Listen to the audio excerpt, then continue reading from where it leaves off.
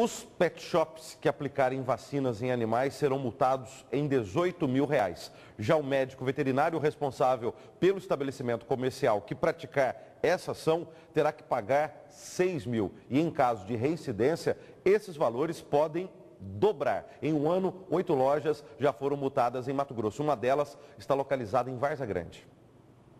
Este pet shop de Cuiabá está registrado no Conselho Regional de Medicina Veterinária e não apresentou nenhuma irregularidade.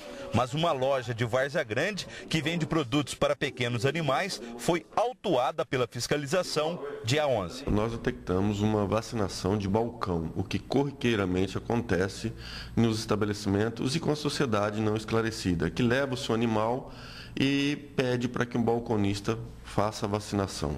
Uma lei federal permite aos pet shops vender remédios e vacinas para cães e gatos, mas a consulta médica veterinária e a aplicação dos medicamentos deve ocorrer somente no consultório de um profissional da área, que pode ser até anexo à loja. Somente o médico veterinário e num, num consultório onde ele tem todos os equipamentos, instrumentos para fazer uma consulta regular para detectar se o animal realmente está apto ou não a tomar aquela vacina. E o caso do balconista aplicar é que geralmente essa vacina não vai ter eficácia se for administrada no momento inadequado do animal. Se ele tiver por alguma patologia ou alguma sintomatologia clínica totalmente adversa. Em 12 meses, o Conselho Regional de Medicina Veterinária autuou oito pet shops irregulares em Mato Grosso. Em caso de reincidência, a multa dobra tanto para o profissional responsável quanto para o estabelecimento comercial. Nós sempre pedimos para a sociedade que procure o estabelecimento que tenha um médico veterinário